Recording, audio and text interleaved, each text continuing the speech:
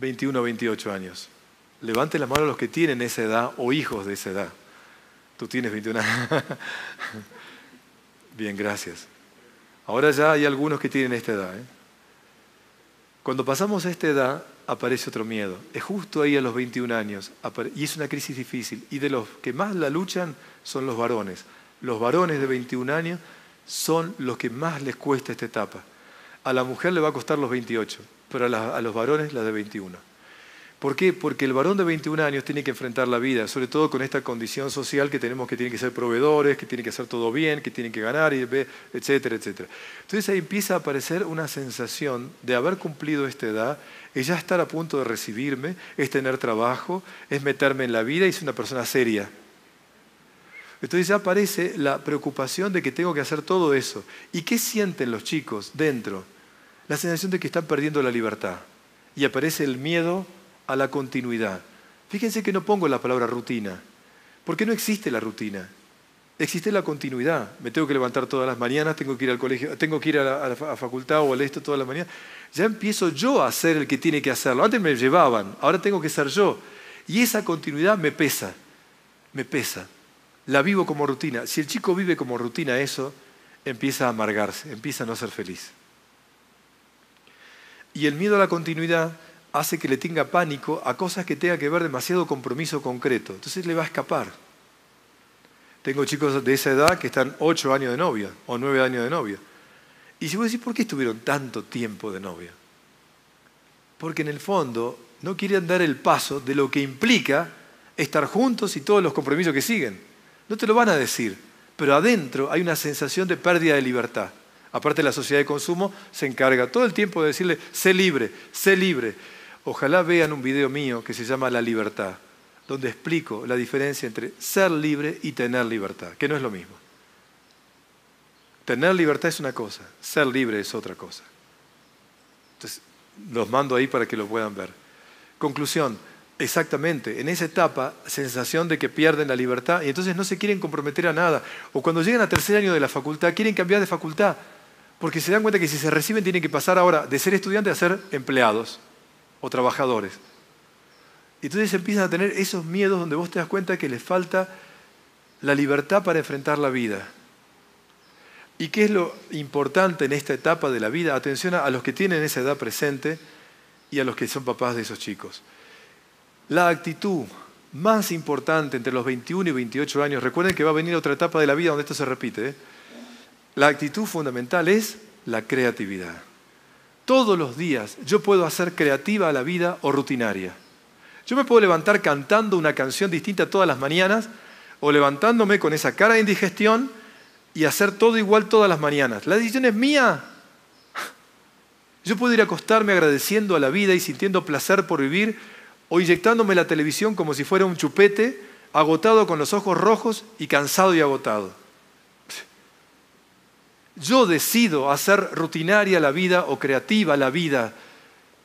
Y ahora los que son papás de esos chicos, los padres de esos chicos tienen una misión, tienen que contagiarles la creatividad. Entonces, toda padre o madre de chicos de esa edad, vamos a las madres, todas las madres de chicos de esa edad tienen que tener flores naturales en las casas. Siempre tiene que haber flores naturales en las casas. Los chicos tienen que llegar a casa y ver siempre algo nuevo, creativo, como las flores, no hablo de cosas raras. Y cada cinco años, por lo menos cinco años, hay que, pintar la casa de otro color o mover los muebles. Porque si no moví los muebles del lugar, está la misma, el mismo mantel con la misma sopera puesta en el medio, rota, pegada con un pegamento ahí, con las flores artificiales, patético. A veces hay chicos que van a la oficina del padre y ven el lapicero con la, con la banda elástica pegoteada al lapicero, o sea, es patético. O sea, ¿cómo, ¿cómo ayudo a que mis hijos sean creativos? Yo siendo creativo en la vida, yo poniendo creatividad. cada tres años debo sacar de mi casa todo lo que no usé en tres años, porque ya no me pertenece. Repito, lo que en una casa no se usó tres años, hay que sacarlo. Acuérdense lo que digo. Con mis 58 años lo puedo decir. Antes no sabía si lo decía bien, pero ahora totalmente convencido. Lo que en una casa tres años no se usa, ya dalo. No te, pertenece. Lo estás acumulando. y te pesa. En esa etapa de la vida, fomentar la creatividad es lo más lindo. Pero acuérdense una cosa, lo que se trata, la creatividad, es hacer de forma extraordinaria lo ordinario de cada día. Eso se trata. Y como papá o mamá, hacelo para contagiárselos. Y que ellos lo hagan. Y esa etapa de la vida lo tenemos que mandar a los chicos a que se vayan a la naturaleza, a la madre tierra, al contacto con la tierra. Es buenísimo que hagan caminatas, que hagan la ruta maya, que suban pirámides, que se metan en la selva, que hagan cosas que tengan contacto puro con la caminando, caminatas y caminatas. A los chicos de esa edad, la, la madre tierra los ayuda a aterrizar. Porque hay que saber aterrizar para elegir una buena compañera, un buen trabajo, una buena actividad. Hay que aterrizarlos y la tierra ayuda. Por eso hay que fomentar eso. Y cuando un chico te diga, me voy a Costa Rica, págale todo, págale todo. Págale, anda que se vaya a Costa Rica. Que se vaya a recorrer Guatemala, que vaya, que salga. Pagáselo. No, Roberto, porque no tengo plata. No, si tenés plata. Es la edad donde los chicos tenés que favorecer que hagan viajes en contacto con la naturaleza, no a Nueva York, ¿me entienden? A lugares de la tierra. Mandalos, ayúdalos a que tomen esa decisión. Porque cuando vuelven, vuelven renovados. Porque porque si hay alguien creativa, es la Madre Tierra. Nunca un amanecer es igual a otro. Nunca un atardecer es igual a otro. Nunca una primavera es igual a otro. Entonces, si aprenden a ver la, la naturaleza y los cambios, uno sabe que la vida tiene cambios. Y aprende a aceptar los cambios de la naturaleza. La vida es creativa. Depende de mí que lo sea o no. El nivel de conciencia de los 21 o 28 años es lo que yo llamo el nivel de conciencia transpersonal. Atención, esto, esto es tan fuerte y a los que tienen esa edad me entienden bien. Todas las comunidades antiguas trataban de que los chicos entre los, 28 y los 21 y 28 años supieran para qué vinieron a esta vida, para qué vinieron a esta vida, su misión en la vida. Era impensado que en una cultura antigua un chico no supiera para qué vino. De hecho, los tótem que los scouts usamos, que le llamábamos de tal manera, es para acentuar una cualidad que veíamos en el otro, para decirle, mira, vos tenés esta cualidad. Eh, danza con lobos, por ejemplo, ¿se acuerdan la película? Eran nombres que se le ponía a la persona para tratar de que él descubriera su identidad propia, que era su misión. La preocupación de que los chicos supieran el para qué vinieron era por dos motivos. Primero, para que no pierdan el tiempo. Segundo, para que sabiendo lo que vinieron se comprometan a eso, ante la comunidad. Y tercero, atención ahora, ¿eh? para que elijan bien a su compañero o su compañera. Atención, hay un dicho popular antiguo que dice así, antes de ver con quién vas, pregúntate a dónde vas. Antes de ver con quién vas, pregúntate a dónde vas. Vos preguntate para qué viniste a esta vida y cuál es tu misión en la vida. Y cuando elijas a tu compañero o tu compañera, que sea para sumar, no para restar. Que sea para que al lado de ella vos puedas cumplir tu misión. Y que ella, a tu lado, ella cumpla su misión personal. Después está el proyecto de la familia. Pero cada uno somos seres humanos únicos, no somos media naranja. Entonces cada uno tiene que tratar de ayudar al otro, acompañar al otro a que llegue a la mejor versión de sí mismo y llegue a su misión en la vida. Para eso nos casamos. No para tener chicos, no para tener un techo y seguridad. Nos casamos para que la persona que está al lado mío me enseñe a vivir mejor y yo ayudarlo a que viva mejor ella y llegue a su plenitud. Y si no está yendo a la mejor versión de sí misma o de sí mismo, me tengo que cuestionar si vale la pena que esté al lado de él o de ella. Porque al lado mío, después de 12 años, nada. Sigue siendo el mismo vago, egoísta, cerrado, rígido y maltrata. Ah, pero es bueno, trae plata a casa siempre, nunca nos faltó nada. Para matarlo. Entonces, ¿qué pasa que no entendimos tanta sabiduría que se perdió en el camino? Yo me uno a un hombre o me uno a una mujer porque es mi decisión, yo sé que al lado de ella puedo cumplir mi misión y la ayudo a ella a cumplir la suya. Pero si ni ella sabe cuál es su misión y yo no tengo la más mínima idea, nos juntamos para ver qué pasa. Y vamos, vamos así en la vida. Las cosas no salen bien, no salen mal, Somos buenos, no hicimos mal a nadie, como dije ayer. No, no, no. Tenés una misión. Descubrila. Por eso vean el video ese del ideal y misión de vida para darle consistencia a lo que digo, que está como les digo en YouTube. Claro, esa etapa de la vida es para eso. Y atención ahora, por favor, los 28 años. La que más sufre este tema es la mujer, las chicas. Porque a los 28 años empieza el fantasma de los 30 y que se va a quedar soltera. Y empieza el drama de la sensación que no encontré al que tengo que encontrar. No se preocupa cuál es su misión en la vida. Lo que quiere es encontrar a alguien que tener al lado, ¿me entienden? Algo anda mal.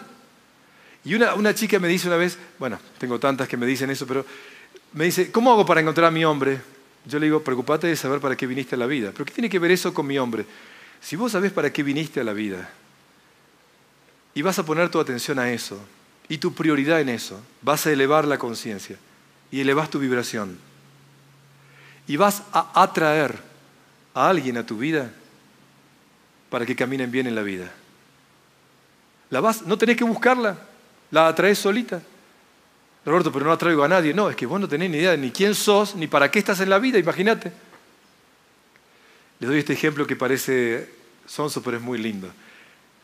Este chamán, Juan de Perú, me decía esta frase, me decía, dice, si se dieran cuenta los humanos, Roberto, de la ciudad como vos estás, dice, si se dieran cuenta que los ángeles están todo el tiempo mirándonos, y me dice, ellos están mirando, pero el problema es que no pueden ayudarlos en nada, no nos pueden ayudar en nada, porque nos miran y dicen, si no saben para qué están, quiénes son y a dónde van, no pueden ayudarle en nada. En cambio, cuando uno de pronto toma la decisión de preguntarse, yo soy esto, yo vine esto, a esta vida, y mi aspiración es esta, los ángeles le dicen, che, vamos, se, se avivó uno, vamos, vamos de nuevo, vamos a ayudarlo.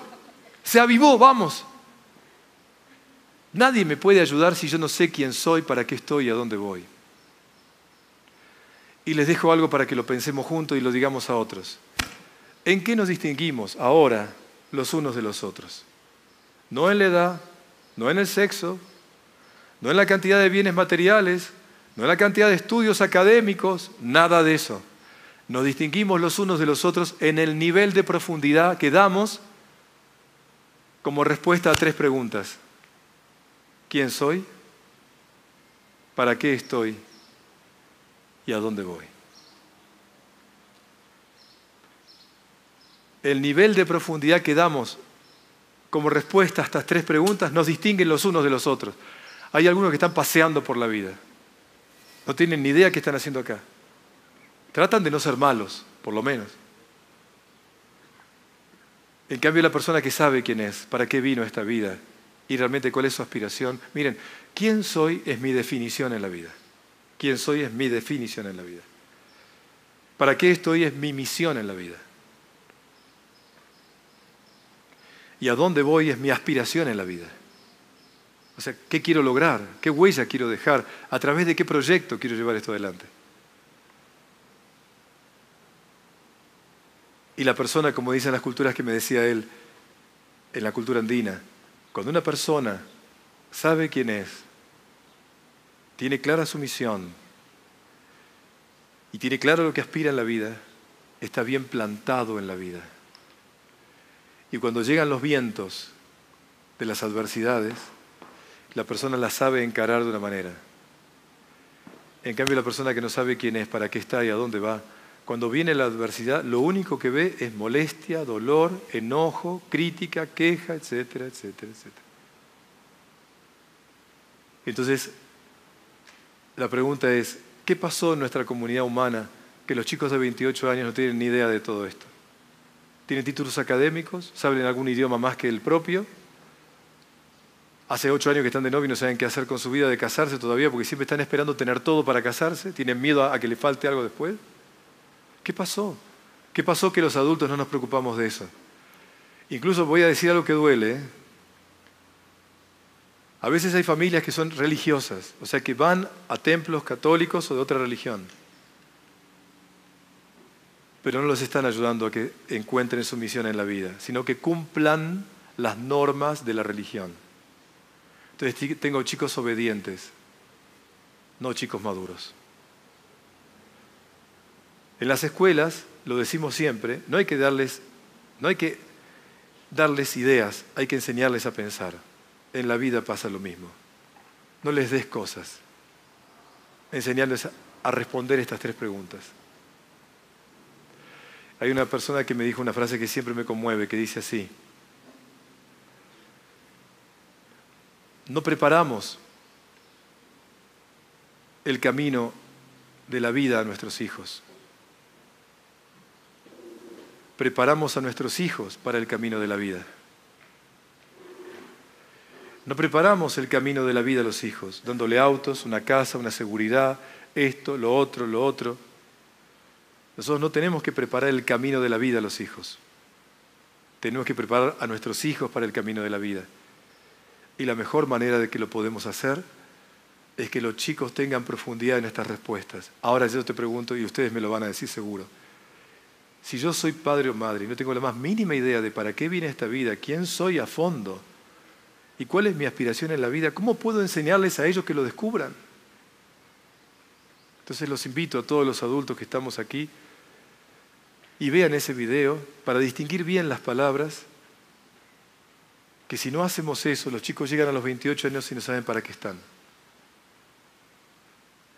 Y lo más loco todavía, entre los 21 y 28 años, las culturas antiguas utilizaban el sentido del olfato, porque el olfato activa la glándula pineal.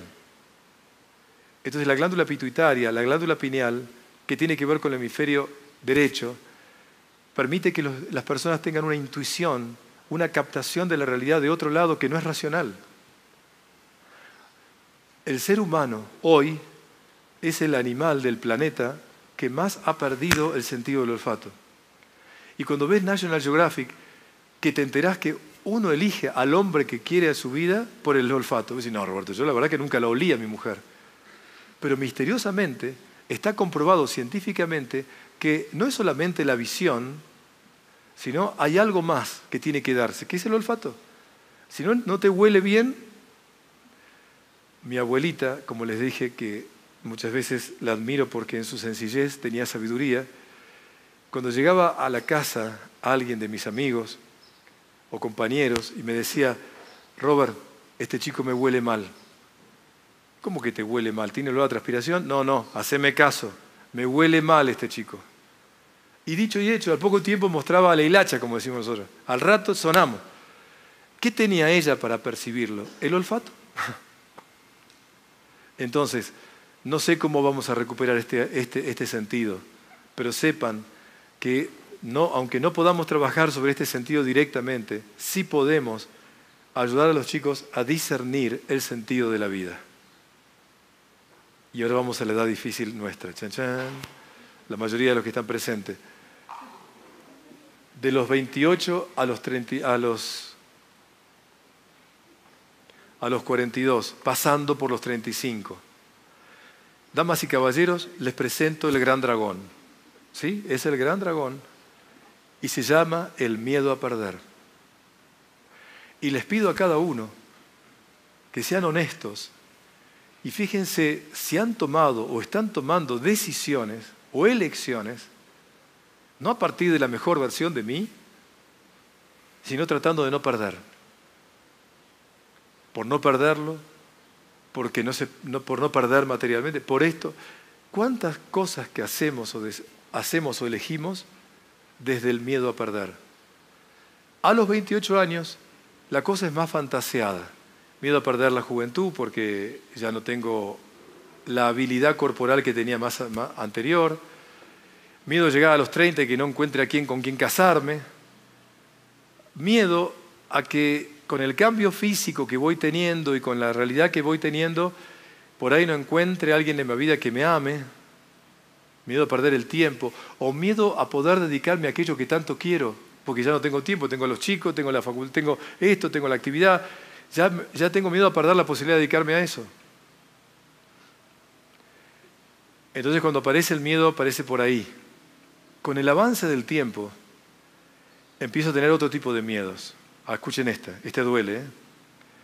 Miedo a estar perdiendo mi vida al lado de un hombre que no me ama, o de una mujer con la que no disfruto la vida. Miedo a estar, sentir que estoy perdiendo el tiempo. Miedo a estar dándome cuenta que estoy perdiendo a mis hijos, porque como no sé cómo tratarlos y los chicos están tan distintos en esta época, tengo miedo a perderlos. Entonces, ¿qué hago? O los atraigo que se queden conmigo o me distancio porque no sé qué hacer con ellos. Entonces no sé qué hacer, entonces bueno, que ella se encargue, porque ya no sé cómo hacerlo. O los atrapo, los agarro, que estén conmigo, que no hagan esto, y cualquier cosa que deciden me molesta, estoy tratando de controlarlos todo el tiempo. Miedo a perderlos.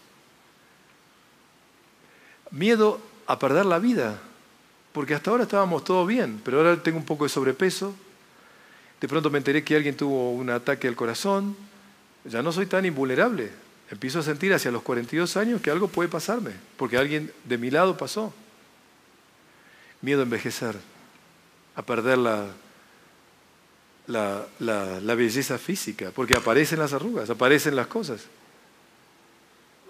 Miedo, entonces ¿qué hago? Me hago adicto, me hago adicto al, gimnasio, me hago adicto a, los, a las cremitas y todas esas huevadas. ¿Es así? O sea, me empiezo a ser adicto a algo para no, para no perder lo que tengo. ¿Por qué? Atención ahora. Miedo a perder el trabajo. Entonces me pongo rígido y trato de controlar todo para que nadie ocupe mi lugar. Y cuando aparece alguien joven trato de correrlo porque a ver si todavía me ocupa el mío. Miedo a perder el trabajo. Entonces como tengo que tratar de no perderlo, me dedico 10 horas trabajando para no perderlo. Entonces por miedo a perderlo me dedico demasiado. Atención ahora. ¿Qué hace la sociedad lamentablemente en esta edad? te dice, para que no pierdas, es obvio, tenés que tener. Tener más sexo. Ah, miedo a perder la virilidad. Entonces quiero tener más sexo con mi mujer, que pobre la, voy agotando, pero yo quiero sentirme varón. Entonces tengo que tener más sexo. Porque tengo miedo a ver si todavía no funciono. Entonces me, como me tomo esa pilorita, esa huevada, otra vez. Miedo a perder la virilidad. Entonces, ¿qué pasa? Empiezo a tener miedos detrás de escena que hacen que mi conducta vaya por esto de aferrarme al tener. Tener más, tener más sexo, tener más plata, tener más fuerza en el trabajo, tener más poder para que nadie te corra, tener más, tener más hijos para no perderlo a él. Atención, ¿eh? Hace tiempo que no nos queremos tanto, entonces quedo embarazada si se queda. Atención, ¿eh? existe, tengo casos. Entonces, ¿qué pasa? Lentamente, por miedo a perder, creo que con el tener las cosas van a cambiar. Y eso es una trampa de una sociedad de consumo. Todas las culturas antiguas decían que de 28 a 42 años es el tiempo de ser, no de tener. Es el tiempo de trabajar mi interior. Es el tiempo de retirarme a la soledad, a la soledad, y buscar lugares donde haya luz y sol y caminar al sol y sentir, no para broncearme la piel, para alimentarme del sol. No quedarme en lugares cerrados. Y tratar de estar en ese contexto para yo realmente revisar mi vida en la soledad. Es tiempo de ser. Por eso tengo que llegar a los 42 años con una claridad de saber quién soy, para qué estoy y a dónde voy. Cuando leo enneagramas de personas, los que ya saben de qué estoy hablando, es difícil encontrar un hombre o una mujer que llegado a los 42 años me contesta impecablemente, yo sé que soy esto, que mi misión en la vida es esta y mi aspiración en la vida es esta. Les juro, hay uno en 500 que me habla así, con tranquilidad, con certeza. La mayoría no tiene ni idea porque está ocupado, ocupada en retener los chicos, en cuidarlos, en controlarlos, por miedo a que les pase algo y el único tema son los chicos que les pase algo. Y él habla solamente del trabajo para no perderlo. Y con los amigos hablamos de sexo para sentir que somos todos bien, vamos. Entonces, ¿qué está pasando? Que perdimos esta etapa de la vida tan hermosa. Por eso les pido, ver, levanten la mano quienes están de 28 a 42 años aquí, así ya puedo verlos, los miramos. Wow. Bueno, gracias a ustedes les suplico tomen esto y revisen profundamente. Porque justamente en esta edad nosotros tenemos hijos que están atravesando sus miedos. Y si yo no trabajo bien los míos, finalmente los, no los ayudo a su evolución personal. Entonces, el miedo a perder está detrás de escena. Y le gano siendo, no teniendo. No teniendo. No es un tema de cantidad, sino de calidad. ¿Y cuáles son las tres claves de un padre, una madre, de un hombre, una mujer de 42 años que, aprendió, que está aprendiendo a vivir, que está camino a la sabiduría? Tres cosas simples. Atención. Piensa en plural y no en singular. Siempre piensa en plural. Miren bien lo que voy a decir ahora. Siempre piensa no lo que me conviene, sino lo que es mejor. Repito, un dato clave para saber si un hombre y una mujer hacia esa edad está madurando bien es, si elige lo que le conviene, siempre piensa en singular. Si elige lo mejor, siempre piensa en plural. No digo que no haga algo que le guste, pero primero va a preguntar, a ver, ¿esto es lo mejor? ¿O es lo que yo quiero? Segundo, eso es trabajar por la unidad. Segundo, tu sonrisa.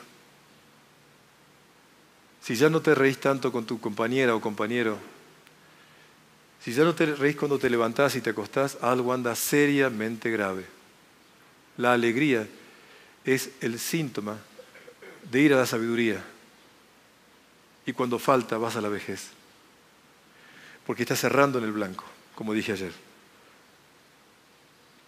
Y la tercera clave es agradecer, ser agradecido.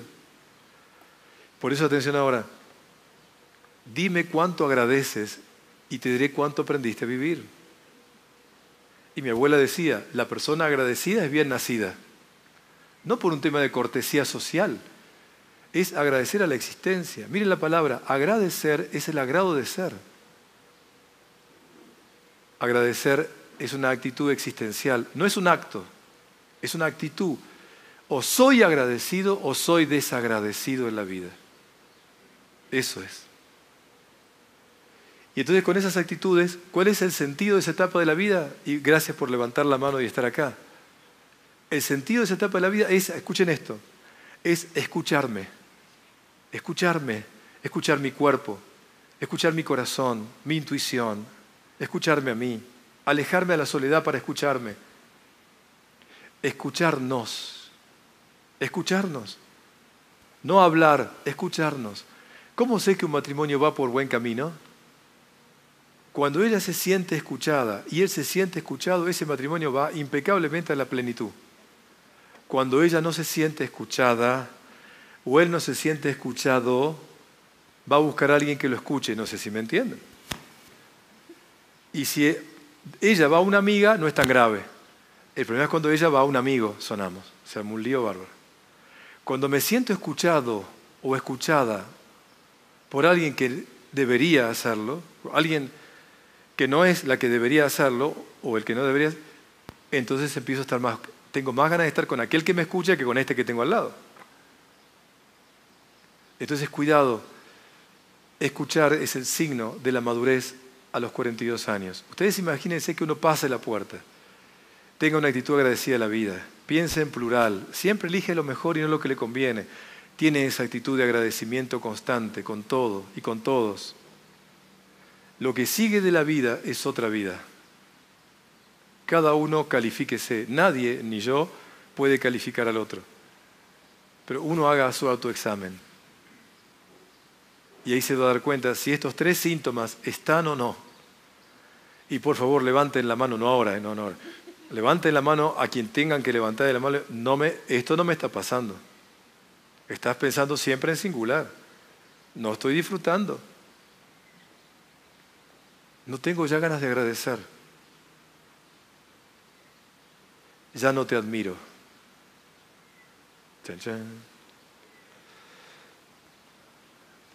Vamos a la siguiente, 42 a 49 años.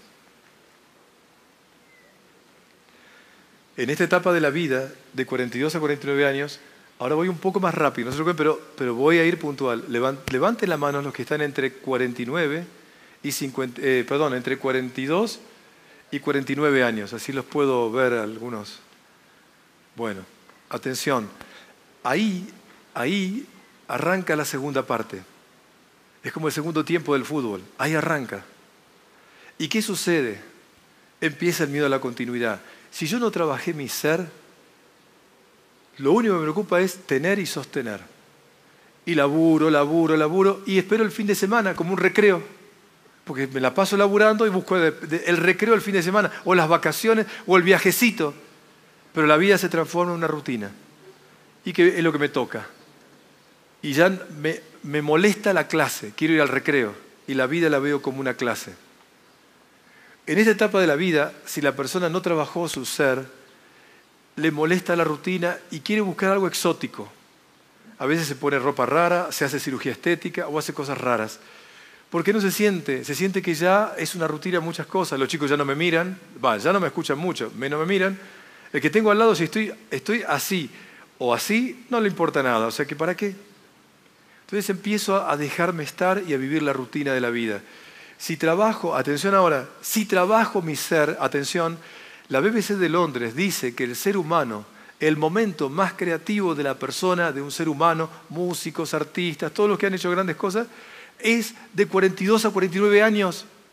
Porque es el periodo donde uno aterriza, aterriza todo lo que lleva adentro. Si yo trabajé mi ser, ahora quiero expandirlo y quiero trabajar con arte o hacer cosas nuevas y voy a buscar la manera de hacer algo nuevo, distinto, creativo. Y va a aparecer la creatividad, va a aparecer. Y la persona quiere bajar a tierra todo lo que tiene adentro, quiere plasmarlo, escribe un libro, se pone a ser chef de cocina, trabaja su jardín, empieza a hacer esto, lo otro, lo otro. Y él empieza a recrear su trabajo y empieza a ser feliz haciéndolo. Y ahí te das cuenta que la persona que trabajó su ser es creativa. Y las mujeres, perdón que lo hablo como varón, ¿no? Las mujeres de 42 a 49 años que trabajaron su ser y son creativas, son muy lindas personas. Ellas pueden decir lo mismo de nosotros, no sé, pero yo digo de ustedes. Porque son mujeres que tienen garra, que parece que están teniendo la edad de, como dije antes, de 21 a 28, tienen toda la polenta, toda la energía. A veces pasa, díganme los varones si no me equivoco, que esas mujeres con gran trabajo interior que lo plasman afuera son más lindas que las, que las chicas de 21 a 28 años, porque son mujeres con experiencia y con toda la garra en la vida lo que suele pasar, lamentablemente que lo digo que ocurre, es que muchas de ellas empiezan a ya estar cansadas, cansadas de todo lo que hicieron. Entonces la boca, la boca empieza así, se pone para abajo, se pone así, empieza la mueca. No le ves espíritu, no le ves ganas de cambiar nada. No, ¿para qué? No, ¿para qué? No tienen vida propia. Y a veces son esposas de. No leen el diario, obviamente. ¿Para qué voy a leer el diario? Son esposas, no son mujeres. Lo puedo decir de los varones también para que no se enojen, pero quiero decir lo mismo. Dejaron de tener identidad propia, ya no brillan. Y cuando llegan a esta etapa de la vida, qué bueno, y por eso voy a Perú y voy a hacer camino del Inca, la ruta Maya en México, en Guatemala, en todos lados es el momento en que en esa edad hay que ir a, hay que ir hay que ir a hacer el camino del Inca, hay que hacer el camino de el valle, el camino de Santiago de Compostela, hay que irse así sin caminar, hay caminando, hay que buscar lugares de la tierra donde caminar y caminar. No saben lo importante que yo veo en personas de esta edad que haciendo caminatas al aire libre se encuentran consigo mismas, porque su vida es subirse y bajarse de un auto, a veces hacer un poco de cosita arriba de una bicicleta artificial y llegar a sentarse en el trabajo y sentarse en casa o acostarse. Es la vida. Hacelo caminar 10 días a alguien y vas a ver lo que le pasa. Lo moves, le moves todas sus energías. Por eso qué lindo es caminar, subir y bajar algún cerro o algo. A los que levantaron la mano les suplico que hagan eso. Es muy hermoso. Y también aparece, atención, es como que la vida te da la última chance. A ver, la verdad no tengo ni idea cuál es mi misión en la vida. Te doy hasta los 49 años. Atención. No podés pasar la frontera de los 49 años sin tener claro esto. ¿Por qué? Se los digo porque ya la pasé, así que ya la viví y eso me ayuda mucho. A los 49 años, la crisis de los 49 años es muy fuerte. Ahora van a ver por qué lo voy a decir. ¿Por qué? Porque generalmente ahí las cosas, si no hiciste las cosas bien, se te van a poner afuera. Y vas a entrar en crisis matrimonial, pero ya no crisis, conflicto matrimonial, conflicto en el trabajo, conflicto con tu cuerpo, vas a tener unos líos bárbaros, justamente a partir de los, en el momento de la crisis de los 49 años. Pero por eso es tan importante llegar a esa etapa de la vida con esto respondido para que yo después me pueda recomprometer cuando yo ahora voy a decir lo que digo. Y el sentido es del olfato. Así que bendigo a las mujeres que compran saumerios, que compran cositas con olor, aromaterapia, todas esas huevadas, buenísimo. Eso fomenta el desarrollo del olfato. Así que bendito sea que metan en las habitaciones de la casa, en todos lados, metan, metan aromaterapia, todo lo que puedan, todo. Frasquitos, elixires. Algo está pasando en la mujer de esta edad que se da cuenta, aunque no entiende bien por qué, que eso es buenísimo. Y te empieza a echar un flip para que te vayas a casa, o te pone flip en la casa por todos lados. O sea, te pone, o sea, necesita otro. Qué lindo que en el dormitorio de un matrimonio de esta edad haya un aroma propio del lugar y que ustedes descubran cuál es el aroma de la casa. Hay tanto para aprender que me parece que la vida no me va a alcanzar, pero sepan que esto es un arte divino, en donde en esta edad el olfato nos abre, nos abre. Por eso cuando voy caminando por los lugares que voy, generalmente voy en época de primavera, donde es todo aromaterapia, las flores, la sensación del pasto cortado o del pasto mojado, todo es aroma, aroma. de 49 a 56 años. ¿Quiénes andan por ahí? A ver, levanten la mano para, para verlos. Bien. Ahí está. Nunca se sientan incómodas por contar la edad, porque es nuestra vida. Así que si ya como adultos no queremos contar la edad, estamos en el horno, ¿me entiendes? Lo que vengo diciendo. De 49 a 56 años aparece otro miedo. Este sí es grave porque es el miedo al cambio. Igual que en la adolescencia. Empieza la menopausia, la andropausia. Empiezo a cambiar el vínculo con mis hijos, ya el nido vacío.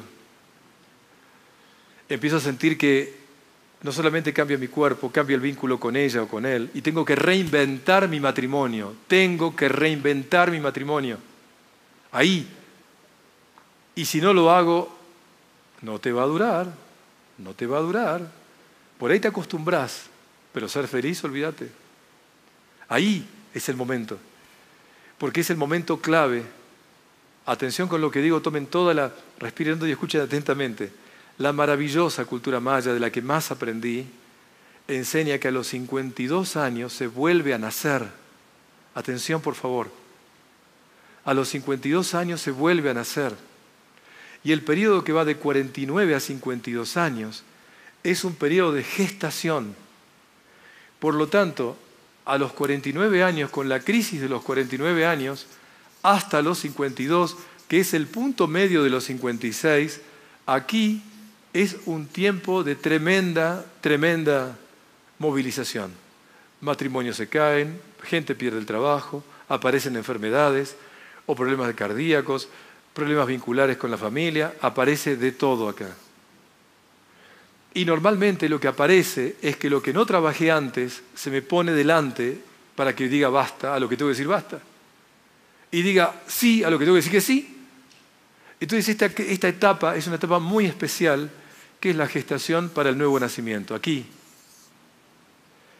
Por eso los que andan en esta edad, obsérvense qué está pasando, porque hay seguramente señales muy claras de que no puedo seguir así en determinadas cosas mucho más si no sé quién soy, para qué estoy a dónde voy. Olvídate, ¿eh? porque la vida te va a dar cada golpe para que te des cuenta. A veces cuando no escuchamos a la vida, la vida nos habla con megáfonos. Y el megáfono de la vida es el dolor. El megáfono de la vida es el dolor. Entonces cuidado, porque a veces tenés que pasar cosas dolorosas para darte cuenta de lo que no te diste cuenta. Y la idea es que a los 52 años comiences de nuevo una etapa de renacimiento, reinventar tu pareja, reinventarte vos. No que te hagas otra vez el adolescente, pero cuidar tu cuerpo, por favor, atenderte adecuadamente, intelectualmente, no se enojen, pero es raro ver varones mexicanos que lean libros. Lo único que leen son temas de trabajo. No es un ataque, ¿eh? no, no crean que estoy ofendiéndolos por Dios. también en Argentina, pero lo que puedo decirles es, no sé qué pasa, que muchas veces, ahora ya no lo pregunto porque me siento mal, ¿qué estás leyendo? Bueno, no sé, en el trabajo me dieron esto, pero no estás leyendo nada. No, no hay ninguna lectura, no hay lectura. Se lee en email y se ve YouTube. No se lee nada que sea más profundo que eso. Y cuando la mujer le da un libro de autoayuda, lo mira y bueno, lo voy a leer por ella, porque me lo está dando, me lo está regalando. Empiezo a leerlo, me quedo dormido, me quedo dormido, perdí el hábito. Entonces la pobre otra que me mira, me dice, y, y bueno, ya lo voy a leer, en las vacaciones, en las vacaciones porque ahora no puedo. Y ya se da cuenta que no, que no vas más. Entonces, en esta etapa es donde me tengo que reinventar. Y tengo que darme cuenta cómo estoy para prepararme bien. De los 41 a los 56 años, ese cambio físico, hormonal, familiar, afectivo, laboral, porque ya empiezo a darme cuenta que también tengo que pensar en que tengo que correrme en el puesto y tiene que haber otras personas jóvenes en mi lugar. Tengo que ocupar o un lugar de otro rol más alto de dirección, de otra naturaleza, o tengo que empezar a formar a otros. Tengo que encontrar si soy el negocio, tengo, tengo autonomía o no en lo que pueda hacer, pero tengo que empezar a tratar de darme cuenta que también eso cambia. ¿Y qué hace la sociedad que nos rodea? La sociedad que nos rodea, la persona que no trabajó su interior, te pide, no, no, no, no, no, en esta etapa tenés que tener seguridad. O sea, mete, el dinero en la bolsa, trata de tener más plata. ¿Y el seguro en qué lo ponen? En cosas materiales, en cosas externas y busco la seguridad material y ya me empiezo a hacer un poquito avaro. A ver, les voy a decir algo. Sé que el tiempo nos corre, no, soy, soy, consciente que tenemos un tiempo, pero necesito que, por favor, graben esto y hagamos una cadena de favores. ¿sí? Un hombre que pasa la frontera de los 49 años, ¿cuáles son las dos actitudes que demuestran que ese hombre varón realmente es un gran hombre? Atención Dos cosas. Evalúenlo. Y si sos mujer y tenés el que tenés al lado y no tiene esto, empezá a golpearlo para que lo tenga. O sea, hace algo. Las dos actitudes de un varón de más de 49 años que demuestra realmente que va a la madurez es dos cosas muy simples. Primero, ternura. Y segundo, generosidad. Si él no es una persona generosa, y no es una persona tierna, va camino directo a la vejez. Va camino directo a la vejez. Entonces, por favor, a los que tenemos la frontera, ya pasamos esa frontera, cuidado. Yo no te voy a evaluar si sos gerente, director general, director continental. La verdad que con todo cariño, eso es tu parte humana. Pero tu alma o tu interioridad, si yo la tengo que evaluar, no voy a evaluarla por los logros, Voy a evaluarla por tu ternura y tu generosidad con todos, no solamente con los que vos quieras, con todos. Y la mujer, Roberto, agárrense, agárrense ustedes. ¿Cuáles son las dos actitudes propias de una mujer que pasó la frontera de los 49 y tiene las condiciones de ser una gran mujer? Y atención, un hombre, dije, que sea tierno, y que sea generoso, va a ser recontra atractivo para todas las mujeres, ¿me entienden? Y toda mujer que tenga estas condiciones indica que va hacia la madurez y va a ser recontra atractiva. ¿Cuáles son las dos condiciones de la mujer? Muy simple, la alegría y la profundidad. No que se la pase riendo por estupideces. No, que sea alegre, que sea sonriente, que le guste bailar, que se mueva, que le salga la sonrisa fácil, que tenga una mirada sonriente de que se levanta hasta que se acuesta, no cuando le, hago cosquillas, no, cuando que la vibre, la alegría de vivir. Eso necesitamos los varones de una mujer. Y lo segundo, que no sea vacía ni superficial, que sea profunda. No que sea intelectual, no dije eso, ¿eh? no que tenga títulos, no, no, no, no, que sea profunda que tenga, que podés hablar con ella de algo.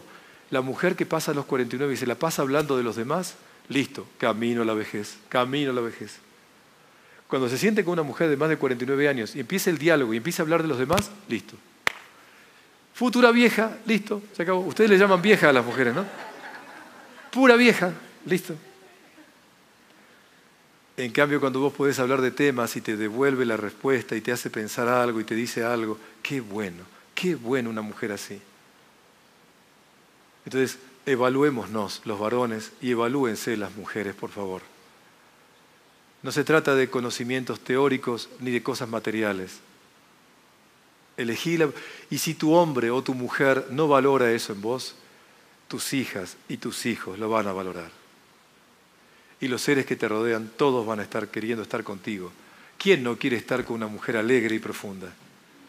¿Quién no quiere estar con un hombre que sea generoso y que sea este, tierno?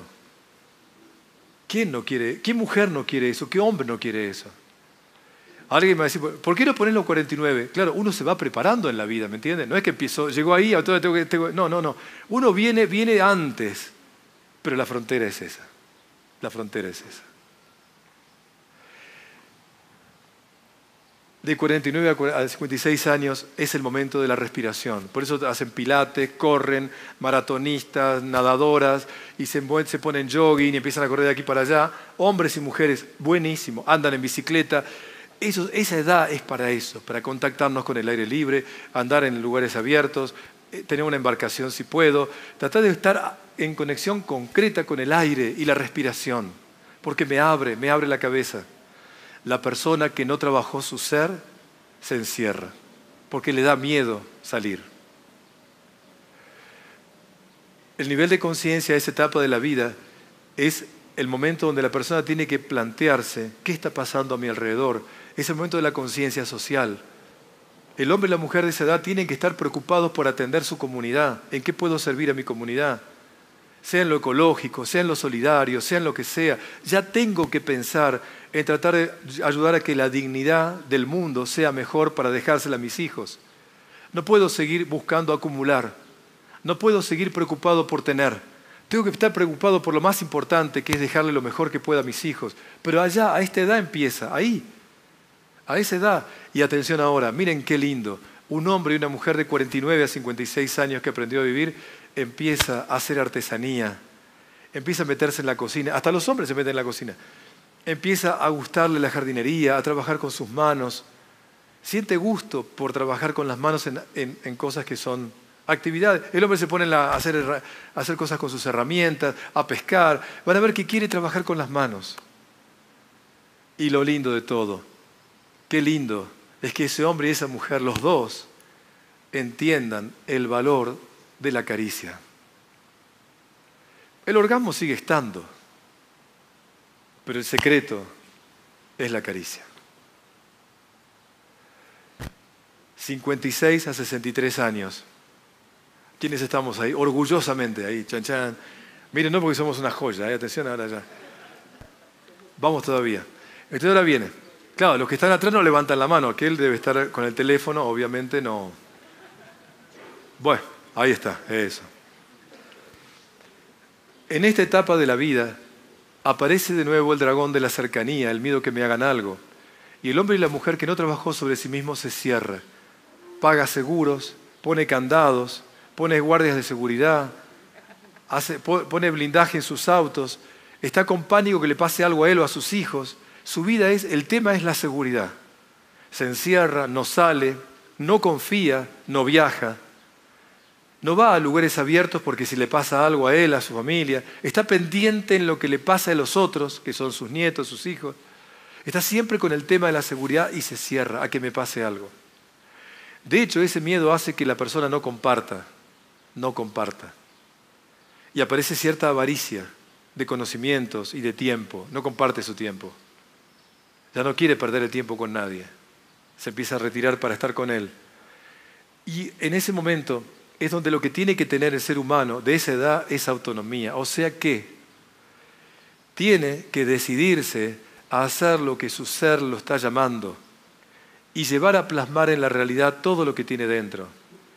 Y tenemos que apoyar a las personas de esa edad a que se lancen, se lancen hacia la realidad para cambiarla y transformarla. No que se queden en la seguridad. Les doy un ejemplo rápido. No me acuerdo cuántos años de, egresados que teníamos. Nos juntamos el grupo de egresados que teníamos por esta edad. Fue a los 52. Eh, no, a los, sí, a los 56. Nos juntamos ahí. Y nos juntamos, éramos 20 y pico. Por supuesto, cada uno empezó a hablar y cada uno empezó a contar que estaba. No, ahora ya que estoy tranquilo, que ahora me dedico a esto, me dedico a lo otro. Y de los 20 y pico, solamente cuatro los demás todos decían, bueno, ya llegamos, ya, ahora nos toca pasarla bien. Y yo los miraba y les digo, no, no entendimos nada, les digo, ahora es el momento de empezar a arrancar. ¿Cómo? ¿Que estás loco vos? O sea, venimos laburando todo el año, toda la vida. No, no, no, no. Es el momento de comprometerte contigo para aportar lo mejor de vos. Los chicos ya crecieron. Lo económico que tenés, no creo que tengas mucho más, así que cuida lo que tengas, pero por ahí lo mantenés. Pero tu tiempo y tu inversión, ¿dónde está? ¿En qué puedo aportar a la vida? No es tiempo de retirarme, es tiempo de consagrarme. Así que los que levantamos la mano, si no están consagrados a algo, para reventarlo, ¿me entienden? O sea, ya. El servicio. Y por eso la importancia de lo social. Y finalmente, atención ahora, de esta etapa de la vida, la persona de 56 a 63 años, hombre o mujer, tiene que leer, tiene que ir al cine, tiene que ir al teatro, tiene que informarse, tiene que nutrirse, tiene que tratar de captar la realidad. No, Roberto, me da miedo, no leo nada porque me, pongo mal.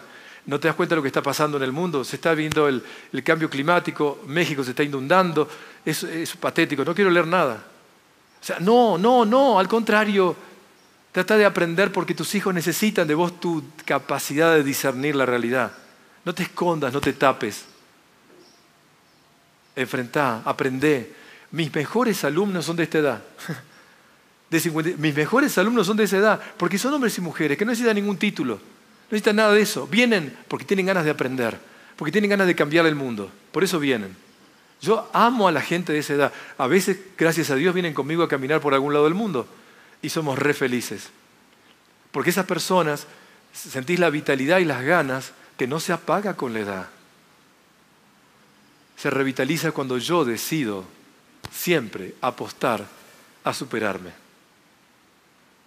Esta conferencia que vengo dando, la habré dado doscientas y pico de veces y hoy siento que es la primera vez que la estoy dando, le juro. No porque me la crea en nada, no me entiendan. Es porque amo lo que hago.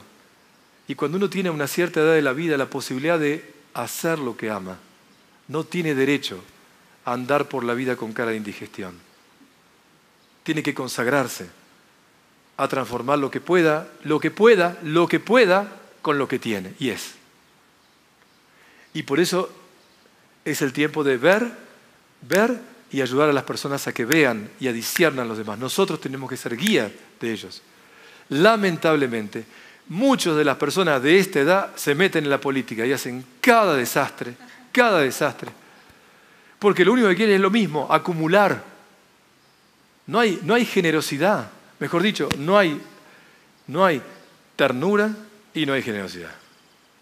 Son rígidos, duros, hablan desde el lugar, yo soy el doctor, así, así es, así es, yo soy el doctor, sacan la tarjeta, así, te miran así serio. No son nada, hermano, Sos un alma que caminás conmigo. ¿Cuál es la idea? No te pongas en el lugar de soy el doctor, soy el presidente, soy nada.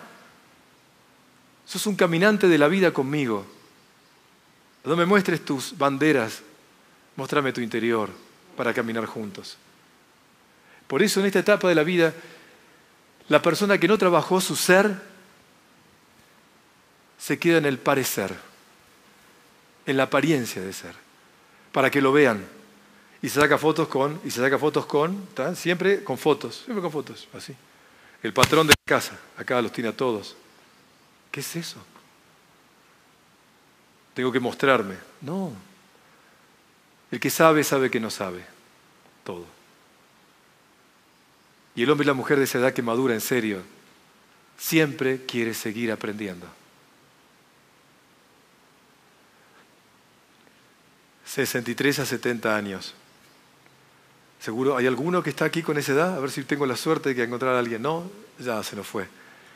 Bueno, las personas de esa edad, a los 63 años, viene un miedo nuevo. Que es el mismo miedo de niños, que es el miedo a la distancia, miedo a que me dejen, que se olviden de mí. los chicos no me vienen a ver, no me llaman, están haciendo su vida, yo me tengo que bancar la soledad. Empieza la sensación que no les importo. Y la persona que no trabajó su ser empieza a quejarse de todo esto que digo. Y empieza a llamarte por teléfono y te dice, ¿cómo te va? Bien, acá andamos, sí, te va bien, pero a mí no me va bien. ¿Hace cuánto que no me llamas? Si me llego a morir por el olor en el barrio, se dan cuenta porque a mí. Hace una semana que ni tu hermano, ni tu hermana, ni vos. O sea, yo no sirvo para nada, les di la vida.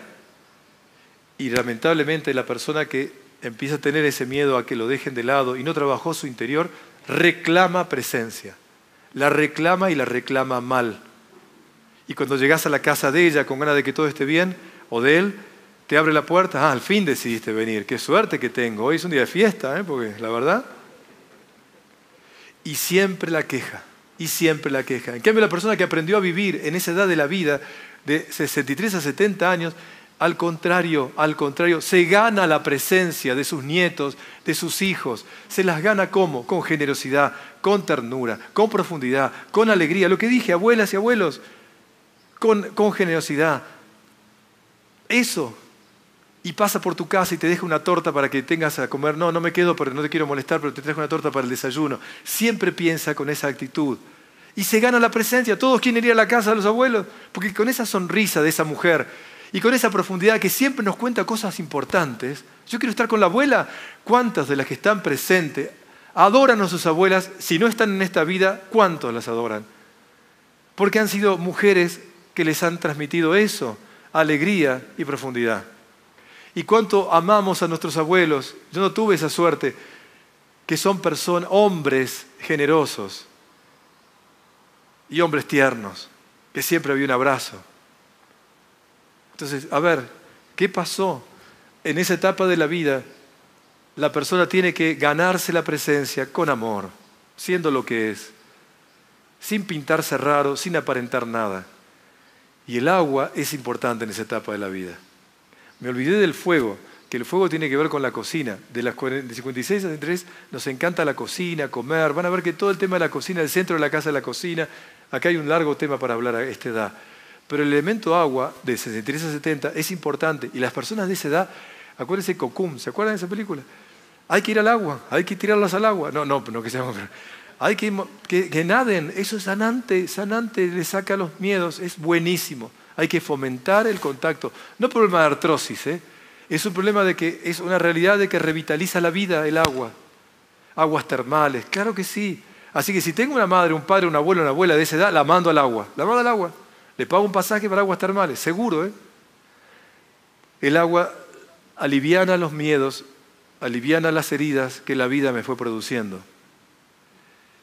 Y el nivel de conciencia de etapa de la vida es del yo. Y miren esto lo que digo. El hombre de 63 a 70 años que aprendió a vivir, el varón siempre está con el cabello bien arreglado, siempre está prolijo porque no quiere dar lástima a nadie, siempre se cuida, y siempre muestra su presencia con cierta dignidad.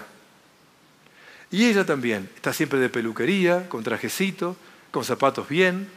Vos siempre la ves presentable porque está con la dignidad de sentirse que ella es importante. No importa si los demás me, me saludan o no, yo me tengo que sentir bien conmigo. ¿Te lo dicen así? En cambio, la persona, el hombre y la mujer de esa edad que no aprendió a vivir, siempre está enferma para llamar la atención siempre está enferma, porque si no me enfermo nadie viene a verme. Siempre se cuente, cuenta sus dramas para crearte culpa si no la atendés o no lo atendés. Entonces, lamentablemente, su yo no está bien puesto. Y miren el sentido del gusto. El hombre y la mujer de 63 a 70 años le encanta un buen vino, una rica comida bien condimentada y un momento con una vela siguen. Van a ver que el cuerpo de esas personas están bien, se cuidan porque no quieren dar lástima. Y les encanta comer, repito, poco pero buenísimo. En cambio, el hombre y la mujer de esa edad que no trabajó su interior, obesidad, desgano, queja, flacidez y otras cosas más, y todo eso. Y vos te das cuenta que se dejó estar. Come de más, come mal. Entonces ahí te das cuenta de todas las derivaciones de alguien que no aprendió a gustar la vida. Y ahora sí tomen aire porque vamos al cierre. Chan, chan. Llegamos a la edad, no, mantenemos esa, la edad de 70 a 84 años, acá. Pasó la puerta, pasó la puerta. Y tomen aire porque esto es honrar a nuestros abuelos o a las personas maduras. Fíjense esto, vuelve el miedo a perder, a perder la vida, el miedo a la muerte, el miedo a ya no estar más con mis seres queridos, el miedo a irme de esta vida, el miedo a sufrir no tanto a morir, sino a sufrir antes. Aparecen esos miedos. El miedo a que se van a repartir todas mis cosas y quién se va a quedar con lo mío. Y se transforman en personas avaras. Si no trabajaron en su interior, son avaros. Se cierran, guardan, esconden. Y siempre te hablan de a quién le va a dar la herencia a este, al otro. Todo el tiempo es hablar de plata, es hablar de herencia, es hablar de a quién le dejo esto y lo otro. La persona que no trabajó su ser en esta etapa de la vida siempre está aferrada al tener. Y por supuesto de generosidad nada. En cambio la persona que a esta edad aprendió a vivir y trabaja su ser, siguen siendo excelentes alumnos, se los garantizo. Y a veces tengo la suerte de que viajen conmigo. Y generalmente estas personas, cuando los chicos llegan a la casa de ellos, se terminan yendo con algo siempre algún regalo, algo que le dan los abuelos. Siempre los chicos te quieren ir allá, porque siempre el abuelo, la abuela les regala algo, algún anillo, alguna historia, les cuenta algo y se los da. Y los chicos disfrutan estando con ellos porque ellos son generosos, ella y él. Y ella con su simpatía y él con su ternura se conquista a todos los nietos y la casa está llena, siempre hay unidad. Y ella se encarga siempre de hablar bien de uno del otro para que la familia esté bien y siempre lo disculpa. No, tu hermano tenés que entenderlo, hay que ayudarlo. Siempre está preocupado por unir. El hombre y la mujer de esa edad que no aprendió a vivir, que no trabajó su interioridad, siempre se queja. Y siempre te habla del otro que hace mal. Porque tu hermano me llamó el otro día y mira lo que me dijo. Igual que tu padre. Igual que tu padre. ¿Te das cuenta de lo que salió?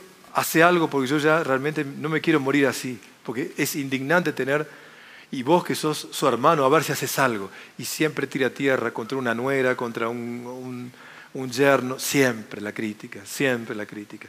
Y vos llegás y querés irte, llegás y querés irte, porque estás cansado. Siempre habla del pasado negativo, nunca cuenta las cosas positivas.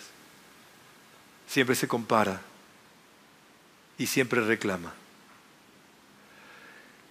Por eso hay que ponerle límites. ¿Ven? Hay que ponerle límites al hombre y la mujer de esa edad que decidió ser vieja. Y decidió ser vieja y en esta etapa de la vida, no solamente allá, sino acá, hay que poner límites. Porque si no, intoxica a tu familia. Y una mujer que no sabe ponerle límites a sus padres, a la propia familia, la va empezando a afectar porque ese padre o madre tóxica va a empezar a tirar su veneno al grupo familiar. Y no tengo derecho de hacer daño a mi, a mi familia, a mi esposo, a mi familia, por tener papás tóxicos o abuelos tóxicos. Entonces, los cuido, los cuido, pero a la distancia. Cuando la persona realmente trabaja en su ser, son esos hombres y mujeres de esa edad que siempre levantan las cortinas, abren las, las persianas, quiere que entre el sol. Mi abuela decía, donde entra el sol se van las enfermedades. Así decía, tenía la casa siempre llena de luz. En cambio la otra que cierra todo porque a ver si le terciopelo, los chicos llegan a la casa y tienen que estar arriba de patines para que no ensucien nada, los mandan afuera para que no toquen nada, típico. Vejez, pura vejez.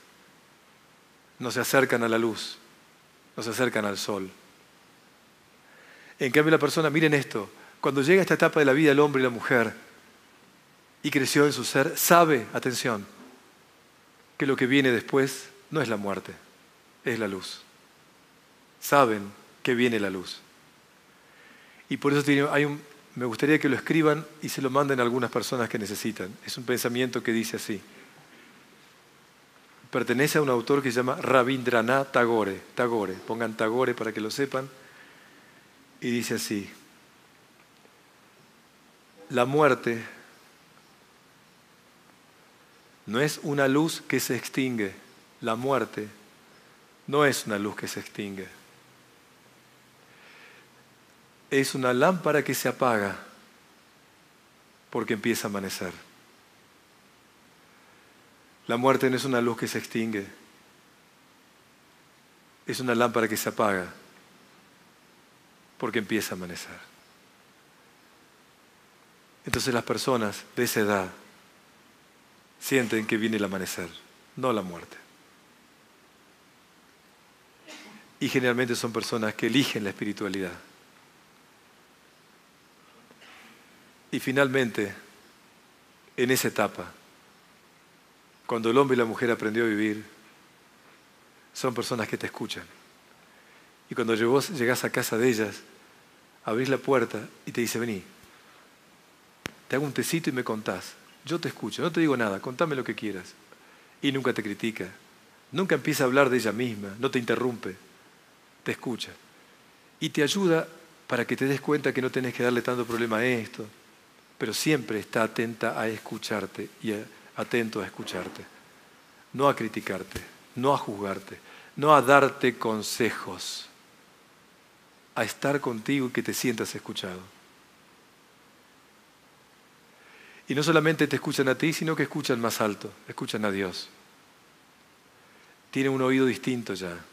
Se dan cuenta que lo que viene, como dice San Francisco de Asís, hermana muerte, ¿por qué temerte?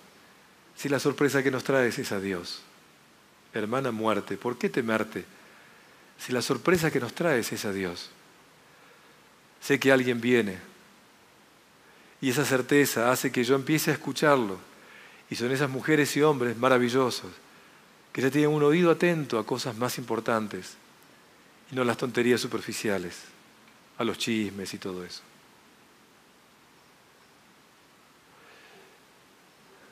Lo que he hecho ahora, ya cerramos, no es cuadricular la vida. No. La vida tiene leyes y las culturas antiguas las sabían. Esto existió y existe. El ser humano es ser humano desde que apareció hasta ahora. Estos ciclos los vamos a vivir. Cómo los vivas depende de mí. Cómo reconozca los miedos y evite que me dominen depende de mí. De que llegue a ser abuelos nutritivos o abuelas nutritivas depende de mí. De que en cada etapa de la vida haga los cambios que no hice depende de mí. Yo les pido que esto lo pongan en, repito, en la cocina.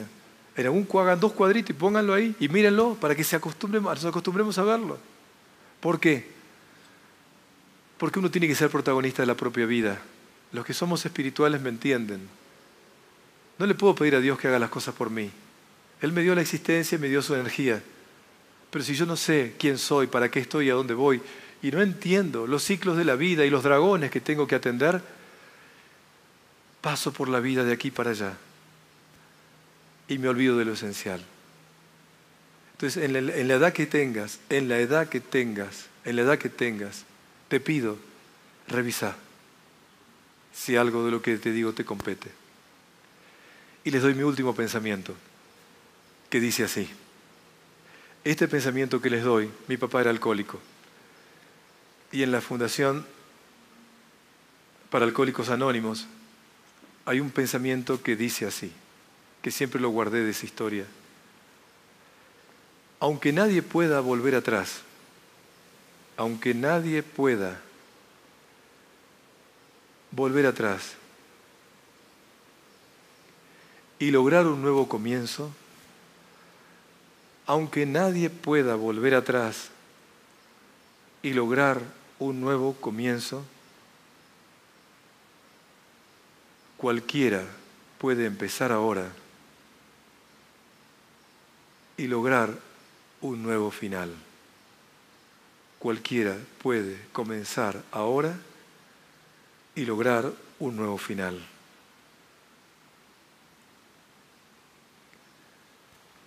No nos angustiemos por lo que no hicimos. Hoy es el primer día del resto de la vida, así lo dicen algunos, ¿no? Soy agradecido a la amistad entrañable que tengo con Jorge. Soy agradecido que no miraron el reloj y que me miran con toda la atención. Soy agradecido porque las personas de servicio también están escuchándome con todo el cariño, gracias. Soy agradecido a Paola que vino de México especialmente para tratar de ayudar en lo que pueda. También a ti y a ti, el sonido. Y eso es lo que siento, que hoy día fue un día donde me permitieron cumplir mi misión. Siempre aprendí una, una frase que dice así, si quieres aprenderle un libro, si quieres aprender más, no, si quieres aprender lee un libro. Si quieres aprender más, busca un maestro. Pero si quieres aprender mucho más, enseña. Así que ustedes me están dando la posibilidad de al enseñar, terminar de aprender, el anhelo que uno tiene de llegar a ser un abuelo nutritivo. Y si pude contagiarles ese deseo a ustedes, que son de nuestros antepasados, lo que voy a decir no se sorprendan, no estoy loco, por ahí soy emocional, pero no estoy loco. Cuando venía para acá caminando en esta rareza de lugar, sentí una presencia de los abuelos mayas a los cuales siempre quise. Y misteriosamente me agarró un escalofrío, me quedé solo en un momento, me agarró un escalofrío y sentí que estaban. Dije, hoy va a ser un día importante. O sea, una vez más doy la conferencia, pero hoy es un día especial. Bueno, si lo es para mí, mi único anhelo es que lo sea para ustedes. Gracias de todo corazón. Muchas gracias.